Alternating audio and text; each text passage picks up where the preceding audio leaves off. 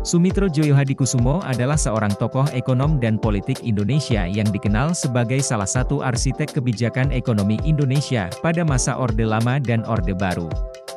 Namun, di balik itu, Sumitro juga memiliki pengalaman berharga dalam melawan Nazi Jerman saat ia masih menjadi mahasiswa di Belanda. Sumitro berasal dari Kebumen dan lahir pada tahun 1917 dari keluarga bangsawan Jawa. Ia melanjutkan pendidikan ekonominya di Sekolah Tinggi Ekonomi Belanda di Rotterdam. Saat Perang Dunia Kedua pecah pada tahun 1939, Sumitro masih berada di Belanda dan menyaksikan bagaimana Nazi Jerman menyerbu dan menduduki negeri tersebut. Sumitro tidak mau diam saja melihat kekejaman yang dilakukan oleh Nazi terhadap orang-orang Belanda maupun orang-orang asing yang tinggal di sana, termasuk orang-orang Indonesia. Ia menjadi anggota gerakan bawah tanah yang menentang Nazi dan membantu menyelamatkan orang-orang Yahudi dari kejaran Nazi. Sumitro juga aktif dalam organisasi mahasiswa Indonesia di Belanda yang bernama Perhimpunan Indonesia. PI adalah organisasi nasionalis yang menuntut kemerdekaan Indonesia dari penjajahan Belanda. PI juga bersimpati dengan gerakan antifasis dan anti-Nazi di Eropa. Salah satu aksi perlawanan yang dilakukan oleh Pi bersama dengan Sumitro adalah mengibarkan bendera merah putih di depan gedung konsulat Jepang di Den Haag pada tahun 1943. Aksi ini dilakukan sebagai bentuk protes terhadap kerjasama antara Jepang dan Nazi Jerman, serta sebagai bentuk dukungan terhadap perjuangan kemerdekaan Indonesia.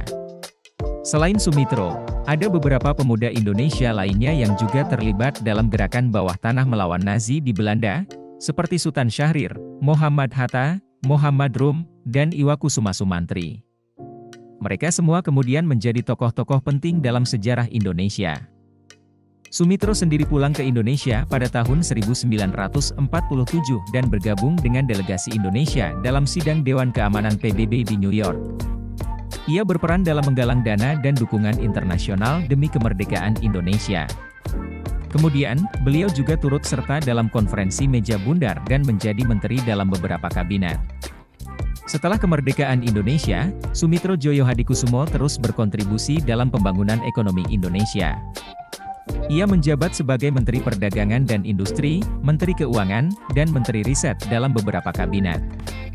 Kemudian juga menjadi Dekan Fakultas Ekonomi Universitas Indonesia dan mengembangkan kurikulum dan penelitian ekonomi di sana.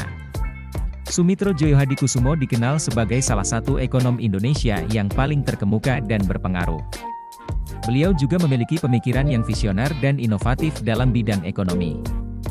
Ia merupakan pencetus program Benteng, yang bertujuan untuk mengembangkan industri nasional dan mengurangi ketergantungan pada impor, kemudian mendukung masuknya modal dan investor asing ke Indonesia untuk mempercepat proses industrialisasi. Sumitro Joyohadikusumo juga memiliki perhatian besar terhadap perkembangan ilmu pengetahuan dan teknologi di Indonesia. Ia menjabat sebagai Menteri Riset pada masa Orde Baru dan memprakarsai pembentukan Lembaga Ilmu Pengetahuan Indonesia, LIPI, dan Badan Tenaga Atom Nasional, BATAN. Lalu, mendukung pengembangan program nuklir Indonesia untuk tujuan damai. Sumitro Joyohadikusumo meninggal pada tahun 2001 di Jakarta. Ia meninggalkan warisan yang besar bagi bangsa Indonesia, baik dalam bidang ekonomi, politik, maupun ilmu pengetahuan. Juga meninggalkan keluarga yang terhormat, termasuk dua anaknya yang menjadi politikus terkemuka, yaitu Prabowo Subianto dan Hasim Joyo Hadikusumo. Sumitro Joyo Hadikusumo adalah salah satu contoh dari pemuda Indonesia yang berani berjuang melawan penjajah dan penindas, baik di dalam maupun di luar negeri. Kisah perjuangannya melawan Nazi di Belanda adalah salah satu bagian dari sejarah perjuangan bangsa Indonesia yang patut kita kenang dan teladani.